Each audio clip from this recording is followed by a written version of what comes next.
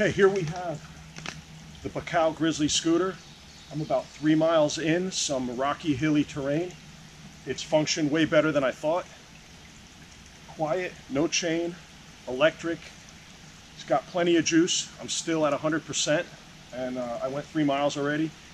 It's a great option. Anybody who's thinking about something, especially as we get older, to pack your gear in, you could put your tree stand on it, lash it in real tight with bungees. You could get a bow holder, bring your bow in, and you can quietly get way back in.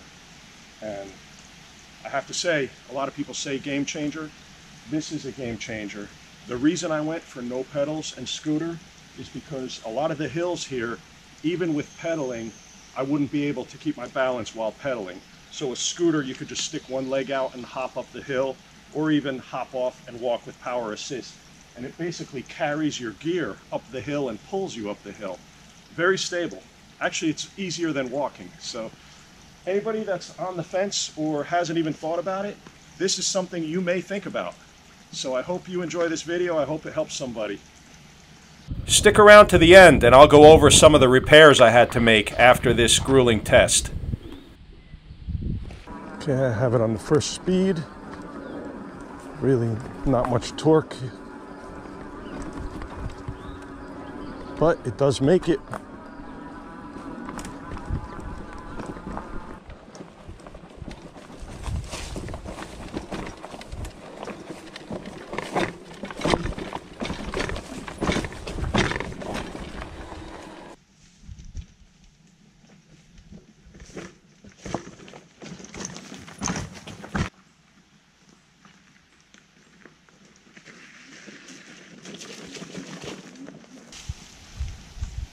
Okay, this is a spot that even a four-wheeler or ATV couldn't get over.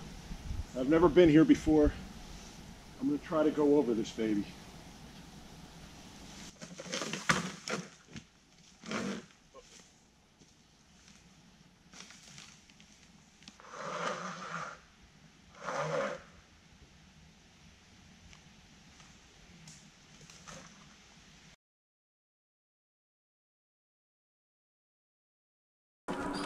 The whole purpose of this trek into the woods on this hot 90 degree July day was to hang a trail camera.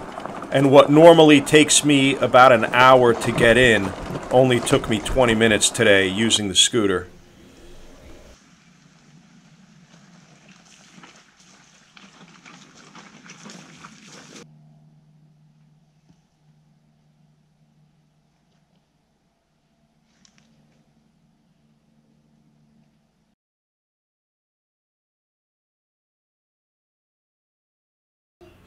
A meadow of high weeds was no problem, with no chains, pedals, or sprockets to get tangled up with weeds and high grass. It also performed extremely well in rocky, rugged terrain. Unless you expect it to be a dirt bike or ATV, you'll be extremely pleased. This is a long grade. It's going to be a, a nice test for if I can make it up.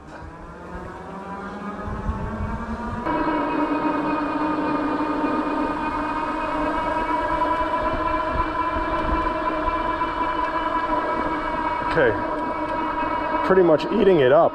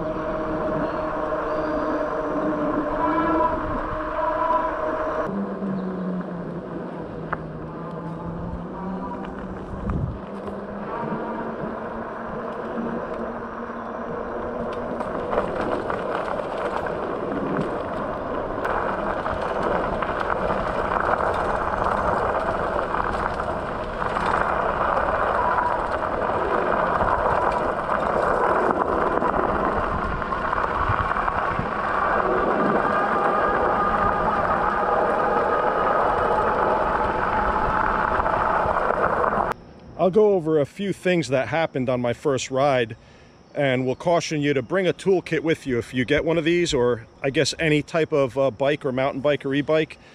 The front tire, the bolt got a little loose so I felt it shaking. It didn't come off but one of the bolts got a little loose. When I was dragging this over some logs, these zip ties must have gotten loose that hold the controller to the motor. So I had to re-zip tie that. Okay, the rack, these screws loosened up, these Allen bolts, and it started to rattle a little bit. And that's about it. So that's the things that happened in two days of pretty hard riding. Oh, and the kickstand too. Okay, the kickstand bolts unscrewed. So I just cinched them up and we're back in business. Okay, if I could give you some advice, carry a little toolkit with the applicable, you know, wrenches and Allen bolts and also some uh, flat tire stuff, things to fix a tire if you do get a puncture.